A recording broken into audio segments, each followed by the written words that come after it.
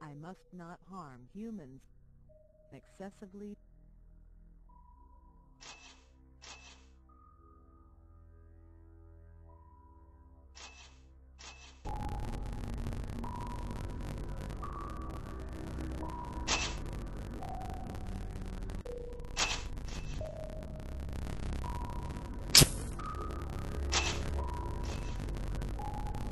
The mainframe is now vulnerable.